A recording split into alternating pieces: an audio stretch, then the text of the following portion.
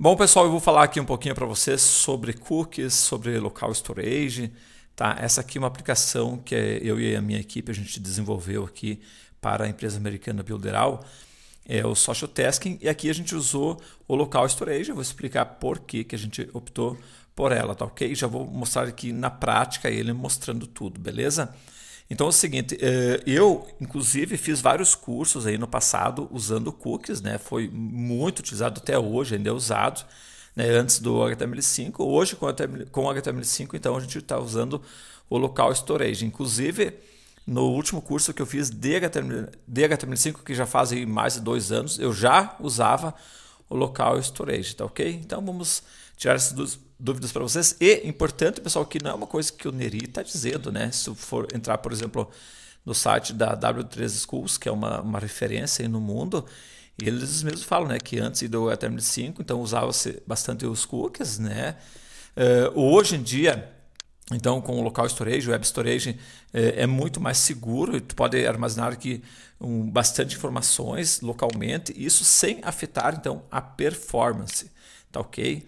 Então são bastante dados e ele não envia essas informações uh, por servidor. Então, uh, por questões de privacidade, segurança, realmente é muito melhor. Tem vários browsers aqui que suporta ele e não tem aqui expiração de data, beleza? Então, realmente local storage. Eu vou mostrar aqui um exemplo para vocês na prática, tá ok?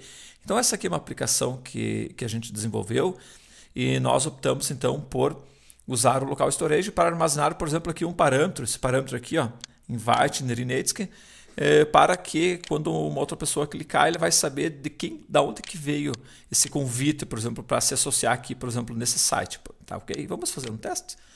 Vamos, vamos lá, vamos sair aqui. Então, olha só. Quando eu entrar aqui, vou acessar aqui agora, beleza? Ok. Acessei aqui, vejam que eu tenho aqui na URL o invite Nerinetsky. Então, uh, o sistema Social Tasking aqui, ou qualquer outro sistema, quando alguém se cadastrar por ele, né, dependendo da forma que você programar, então ele vai saber que veio através do Nerinetsky. Então, isso é muito utilizado em aplicações é, multinível, de afiliados e tal, ok? Então vamos lá.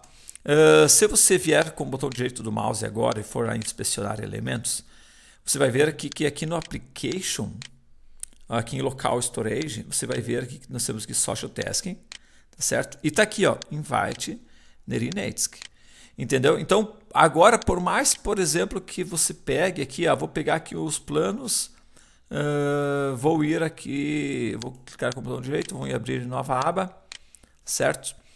Eh, qualquer lugar que você for navegar na tua página, ele vai reconhecer da onde que veio. Então, por mais que, por exemplo, você pegue aqui somente o link aqui, ó, por exemplo, vou pegar aqui só o, só o link aqui, ó, Ctrl C, vamos vir aqui, Ctrl V, Enter aqui, vejo que eu não tenho parâmetro nenhum, só que ele já armazenou essa informação aqui no local storage. Então, se você vier aqui no application, certo? Você vier aqui, ele continua lá. Então, o sistema vai saber né, qual é o parâmetro correto, tá ok? Então, se eu vier aqui agora, por exemplo, fizer uma compra, veja que eu estou aqui num link que não tem nenhum parâmetro. É, isso aqui é só um exemplo, vamos comprar aqui. Então, vejo que seja um membro, tal, tal, tal, tal, tal. Vamos criar aqui uh, a conta e ele vai dizer, ó, você foi convidado por Nerinetsky, tá ok? Interessante isso, né? É assim que funciona, tá, pessoal? Ah, então, é, eu indico vocês utilizarem realmente o local storage por questão de segurança, é, por você poder armazenar um número grande de dados, por questão de privacidade, ok? Por todas essas e outras, eu indico realmente o local storage para vocês, ok? Um grande abraço, até mais e tchau!